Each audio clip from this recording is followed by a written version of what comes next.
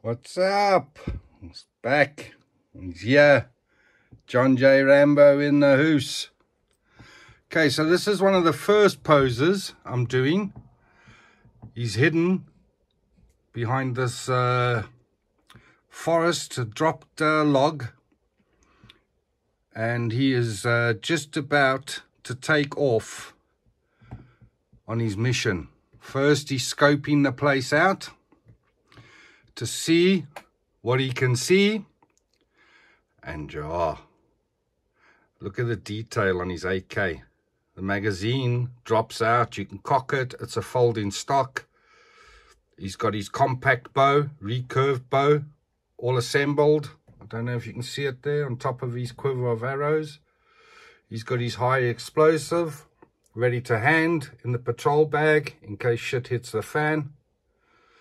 And yeah, I bet you didn't even see him there at first. I've got him that well camouflaged. Did yous? Uh, don't lie. You didn't see him.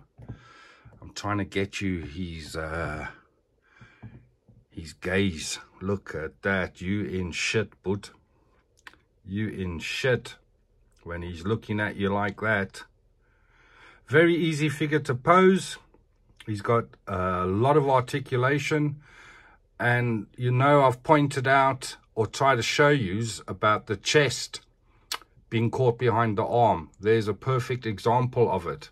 Can you see it there? Just where his bicep meets the chest. It's, uh, it gets tucked behind there and it goes actually behind the arm and folds inside. So you, you have to keep checking for that if you're going to put him in a pose. I had to pull that out, but uh, because I've got the arm so tight, it's showing that it's looking like it again, but it's not actually. I've actually pulled it out. You can't see his trusty knife. That's the tie down on the folded leg, on the bent leg, I should say, of the blade. But there is a knife pose coming up, so you can watch that. Look at him, man. How dope is that? It's a long road to where I've been. But they're all dead, sir. They're all dead. He asked me to find his leg. I couldn't find his legs. yeah. If you watch Hospital Conversations, I've got a story about that. But look at him, man. Hey, how dope does that look? IC Customs diorama uh, backdrops and bases backdrop. And yeah, Steve and Steve Weber does IC Customs, which are these. And Dean Gladwell and my one of my good friends, Kevin Clarkson, does the the rendering of the photos for Dean to print. Nice, eh? Look at that beauty, man. Look at that beauty. That's Rambo. Can you imagine how dope he would have looked with uh, real hair. That's the only thing nitpick about this figure is, can you see the way the hair hangs? It doesn't hang natural. That's because it's made of plastic. And this gimbal is supposed to be taking the bloody shake out the camera. It's adding more shake than anything else. So yeah, he's just about to lob a grenade. Uh, he must have seen something in the jungle or in the bush, as we call it in South Africa. Because that's what he is. He's a bush fighter. We were the best in the world at one stage at bush warfare. American, Britain always tied for uh, conventional, but the Yanks have got so many, so much materials and so much manpower to throw at things that, uh, yeah, they used to come out on top in conventional warfare. But no one could beat us in bush warfare. No one. No one. Look at that rock. The detail on this diorama. I know I'm supposed to be showing you Rambo, but look at him, eh? I mean, it looks like that diorama was made for him. But it's not. It's not. And I could quite easily see him in his own display cabinet looking like this. Lovely bloody jubbly indeed. It kind of like bring, brings it home who he is and where he was, you know, instead of seeing him in just a display cabinet. Really dope. Really, really dope. I'm over the moon. Over the moon. There you can see the articulation that he's got. I mean, look, that knee's bent, that he's kneeling on. That knee's bent, and there's no damage to the figure. He's got double action knees, double bend knees. Uh, the arms are a bit of a problem. It's got the fleshy material on, and that can deteriorate over time, especially if you leave it in a stupid pose. But, I mean, there's figures that have deteriorated being kept brand new in the box. So, you know, you, you, as long as you look after them, keep on checking on them, make sure that everything's still tight and lacquer, you'll be okay. And don't leave it in some silly pose just to impress every Tom, Dick and Harry that comes through the door. Only do action poses if you're going to be taking photos or a video, and then you can put him back in a nice static pose or a museum pose so that joints and material don't get damaged. It's just common sense, most of it. As I was saying, that magazine in the AK pulls out. Uh, it cocks like a normal AK. Uh, the grenade launcher works. You can cock that yeah, beautiful piece of uh, equipment by 3-0. And I was thinking uh, Fission body on him, but it's going to hide the scar. You won't have the scars. And that uh, you'll see in the bow and arrow shot. The scars are important. Well, I suppose in any shot where he's got the tank top off, the scar's important. It shows who he is and where he's been, you know, what he's been through if uh, Teasle had taken notice of that, Sheriff Teasle in First Blood, they would have noticed. Yeah, well, you know, they only noticed when they were giving him a shower. And uh, Galt, the one deputy, just carried on pushing him, carry on pushing him. Till the end he cracked when they started to shave him. Because he had PTSD, you know. And he took him back to when the Vietnamese general or captain, whatever he was, was torturing him and cutting him when they tried to shave him in the prison. But when they were giving him a shower, they should have noticed. Well, they did. Uh, what's his name? The redhead, David Caruso. What's his name in the book? Ah, I can't remember. Can't remember. Mitch. Mitch. He says to Galt, look at the scars, man. There's something wrong with this guy. We need to call Teasle, the sheriff. And Galt just carried on, eh? Pushing him and pushing him. Galt was the one that uh, falls out the chopper in the beginning on the chase. But yeah. Lovely, lovely figure, eh? Congrats 3-0. You, you, you, you literally nailed this guy. I can uh, speak for others. Everyone is so impressed with him. My peers in the collecting groups, they all love him. You know, he's a very dope piece, eh? Very dope piece. Could this have been better? Could that have been better? Yeah. But I mean, it is what it is, you know?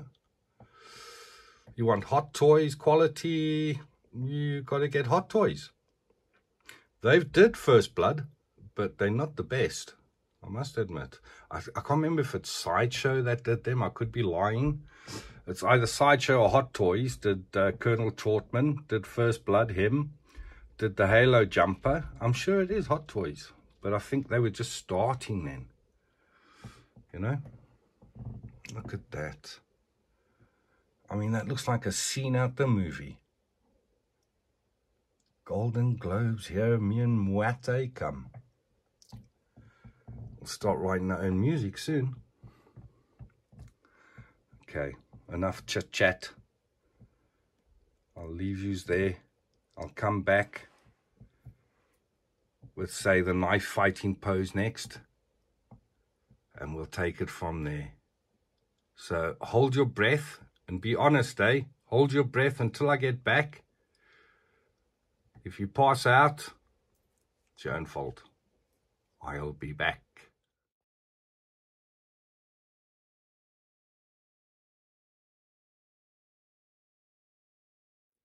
All right, so as promised, here he is. Jumping out from over the log with that terrifying knife in his hand. There you can see the scars on his chest that 3-0 have added to the body. You can also see that little clench part of the chest has opened up again because I've opened up the shoulder. Look at that fearsome blade, man. That would go right through your cranium. Okay, so he's holding on to that uh, tree log there. And he's just about to jump out and kill you. Simply, simply kill you. There's the sheath that you couldn't see before. Tied down to his leg, almost like a gunslinger. Very lacquer to pose, eh? Honestly, it's like playing with your action men of old. You can't do that with every figure because you worry about breaking this and breaking that. But this guy's so articulated. As I say, the only problem is the fleshy part on the arms could deteriorate over time if you left him in a nasty pose. But uh, for the purposes of shooting a video, it's, uh, it's all right. Especially with Saigon in the background there. Oh, that's Saigon. Gotham City, that's Saigon. Look. Rambo was never in Gotham. Okay. That's a dope pose, eh? Would have been nice if uh, they gave him a metal blade. That would have been nice. Some of the some of the figures do uh, have uh, die cast blades. Again, he's using the trigger hand because they don't come with a knife hand. And Jar man, look at him. He's just a fabulous, fabulous piece. He really is. No matter what you do with him, he looks good.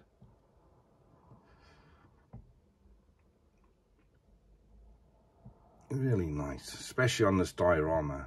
It was like almost, uh, keep on saying it like it was made for him, but it's not. Look at those abs. Very similar to my build. This build here.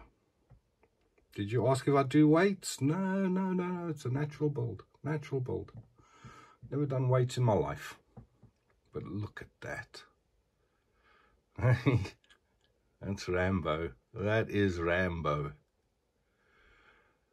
Yeah, every time I uh, do something with this piece, I fall more and more in love with it. It's going to be a sad day if ever I have to sell him because he just poses so beautifully, man. All action poses. Okay, his hip, where the leg uh, that's going down to the ground, that looks a bit awkward.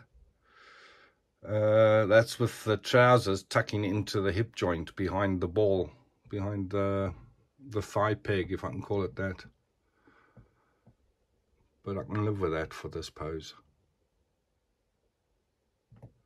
An interesting story, uh, Sylvester, when he was doing all the Rocky movies and that, at one stage he had to stop training because he was building muscle on top of muscle and he had no they had no access to veins you know?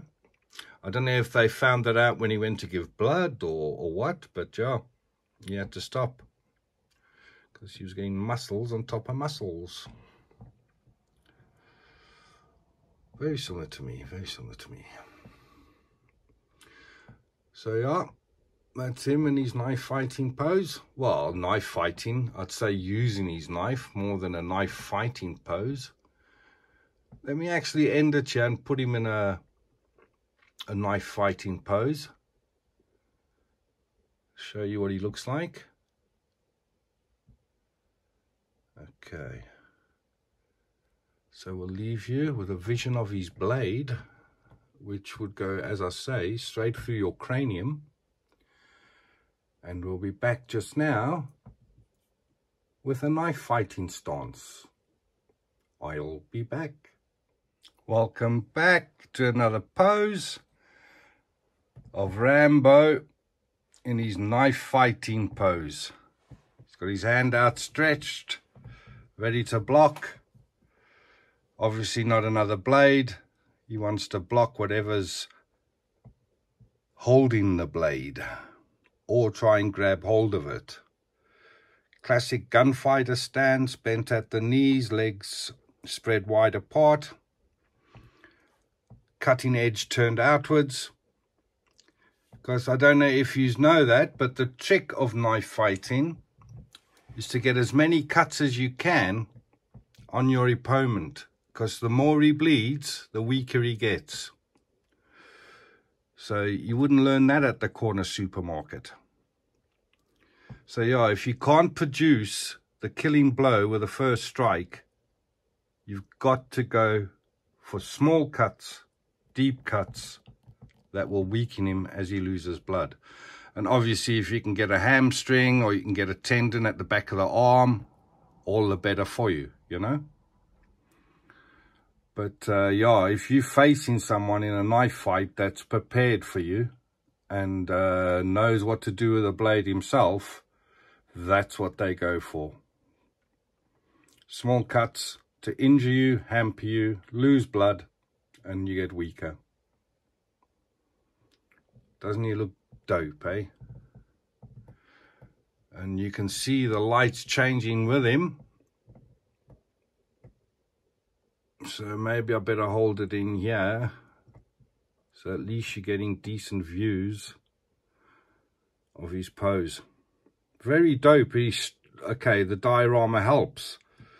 Uh, you know, to get standing poses without crutch grabbers is always a bitch to do.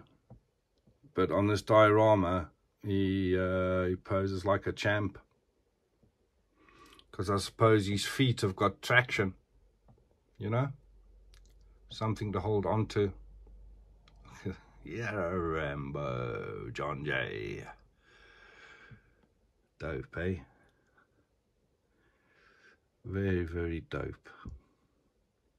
I mean, that's, uh, I mean, he's, he's got a silver belt buckle on.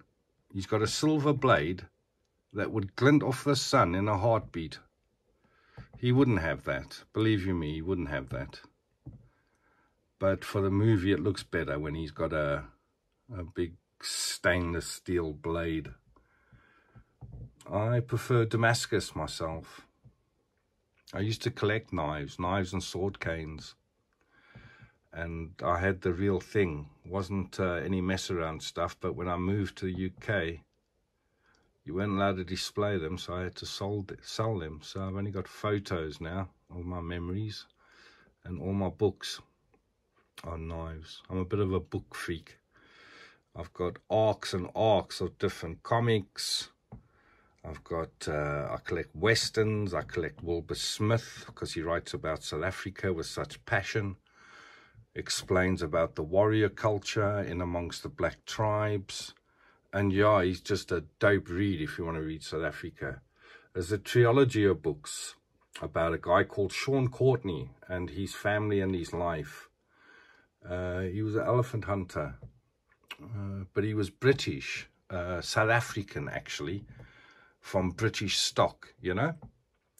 And uh, yeah, it's called When a Lion, When a Lion Feeds, The Sound of Thunder's the second one, and When a Sparrow Falls is the third one. It was banned in South Africa for years because it's all about uh, the strikes and the riots up in Johannesburg, in Fordstown, when uh, Smuts called out the army to uh, attack the strikers. So very controversial. But uh, when you read it, the, the three of them, you'll find you'll fall in love with the Zulus. Uh, yeah, mainly the Zulus because they were the boys. They were the boys, the Zulus and the Matabele. They were the warrior tribes. The Shona and the Mashona, they were all uh, bottom dwellers. when you, if you speak to a Zulu or a, a Matabele, they used to call them dirt eaters because they farmed. Yeah, oh, Jaka and Mzilikazi. But back to the man in hand. Look at that pose, man.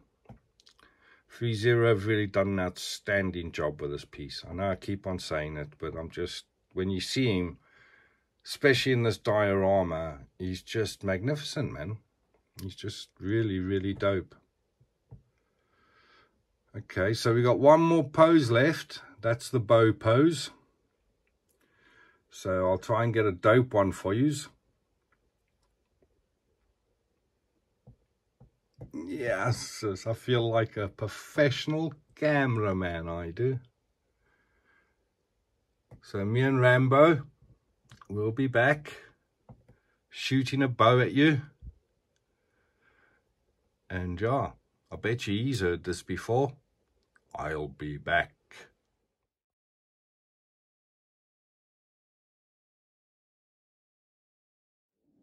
Right, that's me back. I've tried to get him in a lacquer pose. Uh, he's just not playing ball today, but I've got him in a bit of an arrow shooting pose there. So he's just cocking it. He's heard a noise and he's waiting to let loose. There you can see how the muscle bunches up around the elbow. He's got a trigger hand for the bow and he's got this, uh, what would you call it, draw hand because it draws the strings back. I haven't loaded the bow with other arrows uh, simply so you could see the bow in action, so to speak. Don't worry, I'm not going to let off a shot at you. But look at that, man. Look at that Rambo in all his glory, eh? Now, the actual arrow on these recurve bows is supposed to go on top of that piece, not underneath it. But, uh, yeah, you wouldn't have known if I hadn't told you. So, uh, yeah, look at that. How dope does that look? Again, I had to take his watch off because the peg is not long enough to keep hand and watch in the same position.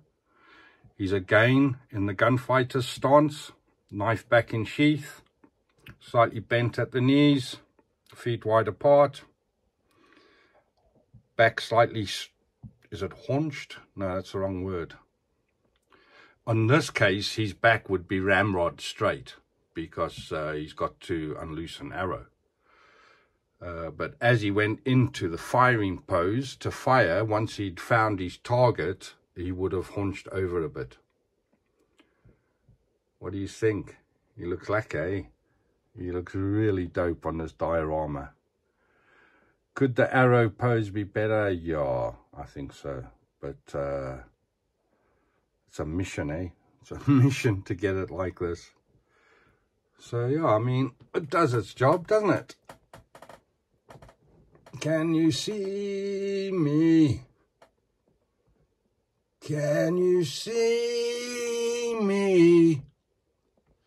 Or is it, uh, that's Roger Daltrey, isn't it? I can't remember now. But look at that, eh? Doesn't he look dope? You must admit. He's a super posable figure, eh?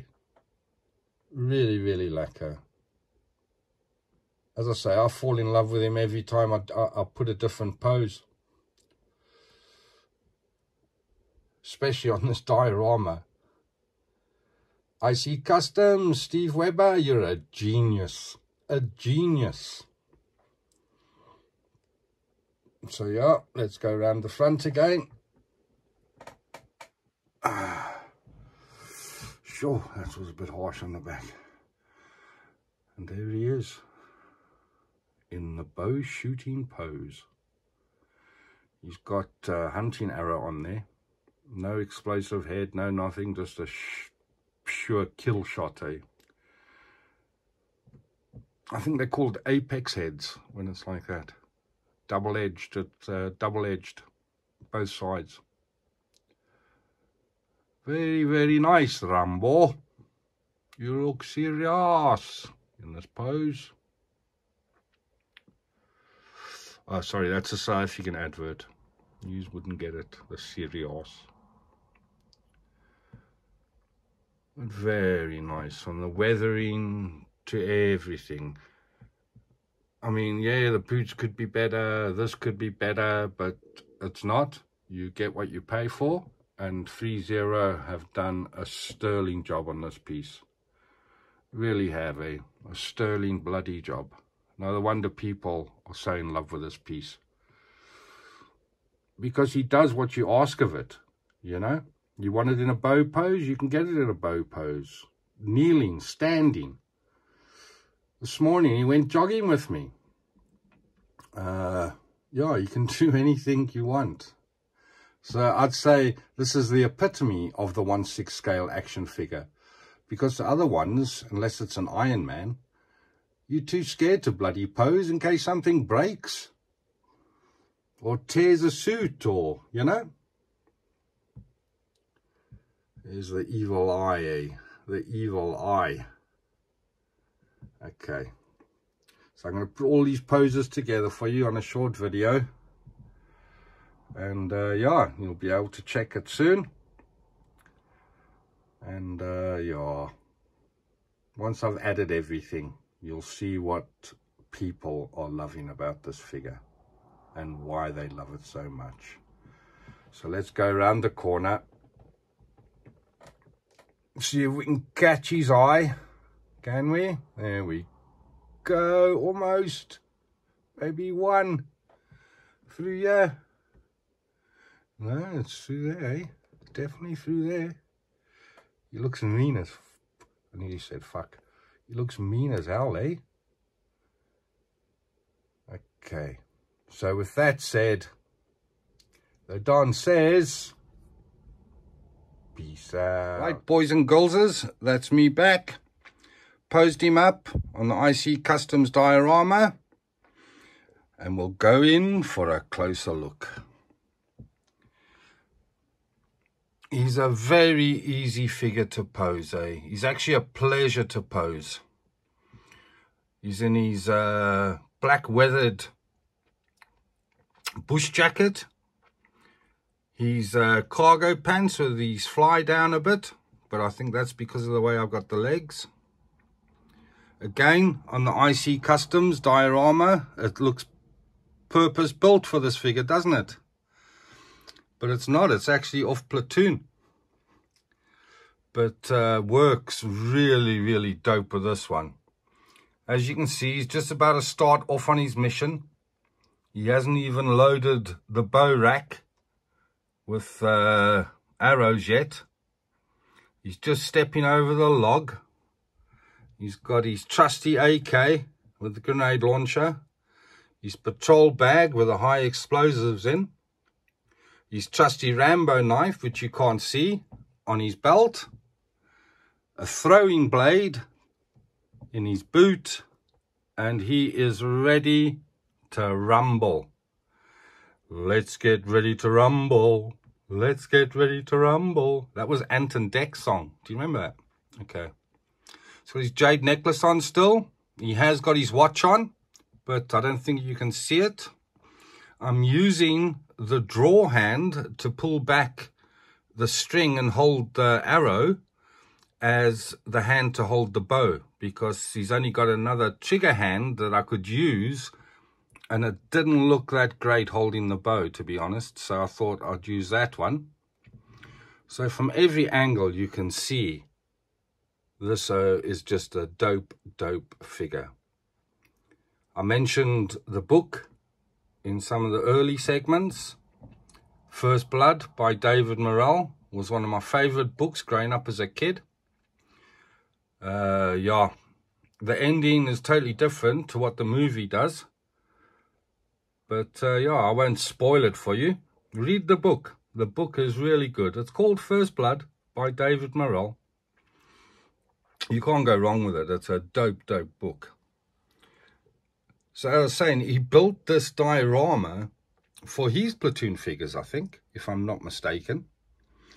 And uh, he never used it. It was one of his earlier attempts, yeah, earlier attempt eh, at building dioramas. And look at how beautiful it is, man. So you can just imagine how good his other stuff is. But yeah, we're here to talk about Rambo as well. There he is with his penetrating stare. Don't give him shit, otherwise he'll bug you sideways with a broken mop. Yeah, it looks like he's just eaten a pair of monkey's testicles. That's what you eat when you're in the bush. Yeah, he's got the trigger hand holding the weapon. He comes with an assortment of hands, but I use these two. He's got uh, a blade tied down to... No, I tell a lie. You can just see the sheath there of his blade. There's the throwing knife in his boot. Yeah, nice. Nice, nice, nice. So, yeah, he's just arrived. And John J., or Rambo, as he's like to be known, is about to start his mission.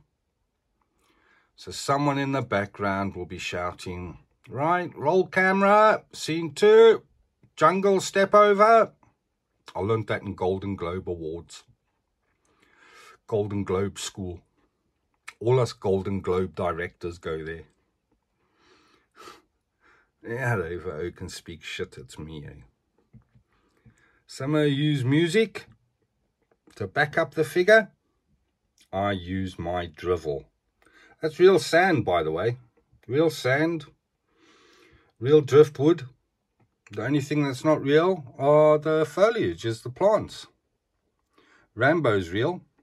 He's standing right here in front of you. Saigon behind him.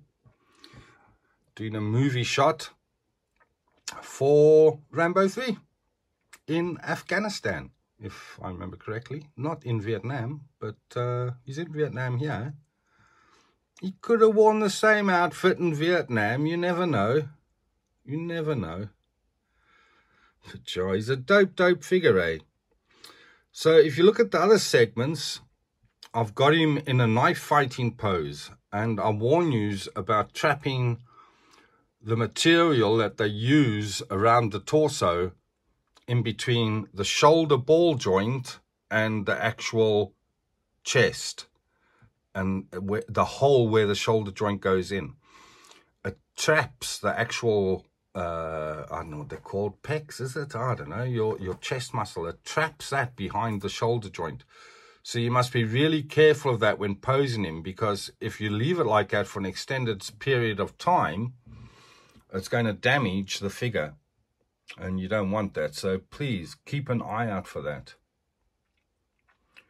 I've heard no one come back yet with uh, complaints that the vest or the jacket has stained the body. But I, to be fair, most people are posing him with uh, bare chest, bare, bare upper torso, because you can see all the scars and this, that, and the other. But he does look dope in this. But I think what I would have to do is what I did for Purple Coat Joker. I would buy an extra body just to be able to pose him with the clothes on. And then you're not worried about it getting stained if ever you have to move the figure on. Which in my game, because I'm disabled, I have to move on quite often. It's blood in, blood out, you know. Hopefully, I can uh, hold on to my grails, but uh, some of them I've had to sell in the past. Quite a few of them, actually. But it's the hobby. It's the hobby. At least you get the enjoyment of the figure, well, for me anyway, for the time you've got him. And I'm so chuffed that we fixed this lighting problem, eh? Look at that now. Now you can see it in 4K. That's really good, eh? I'm over the moon with that. I can go in, there's no tapping. I had it on the wrong aperture, believe it or not. I was faffing around with the camera the other day and I must have changed it. And that's why it's been losing focus all the time. Because it had too small an area to control. Something to that effect. But now it's fixed. John J. Rambo, Rambo 3. That's part of... Uh, I told you before, eh? Stoney's Customs, Seth Stoneberger. Also good. I know quite a few uh, customizers. I'm, I'm, I'm going to do a segment on them and show you, just by photos though, some of their work. Uh, Brett from Bat Fanatic, yeah, he does some amazing paint apps eh, on head sculpts and that you must see he's battle damaged uh, Roman general. And he also does those, uh, you know, the movie Small Soldiers? He does those figures. He does Chip, the guy in charge, and he does the, I can't remember, it's not Mowgli, something like that. Mowgli's from uh, Jungle Book, but yeah, something, he's the archer. He does those two figures and they're really, really dope. So if you like the movie and you collect figures, uh, it's going to be a segment to watch. So I'll add in IC Customs work. Uh, yeah, th th there's a few customizers out there. Uh, Darren, Biggie Rowe, he's good. Paint app's fantastic. So yeah, we'll do a whole segment on there on on some of the customizers and how you can uh, get in touch. I'm still sorting out if I'm allowed to advertise on YouTube. Well, not advertise, but tell you all how to get into the groups. And uh, yeah, I'm, I'm still, it's a grey area at the moment because a lot of the members uh, love their privacy, you know. They like to buy what they want to buy and show what they want to show without uh, being nagged on the side. so yeah, they're all uh, private, the groups, but dope places to be for just for information, buy, selling, trading, group buys. You get a lot of the sellers coming on and offering us all group buys. It's really a good place to be if you're a collector.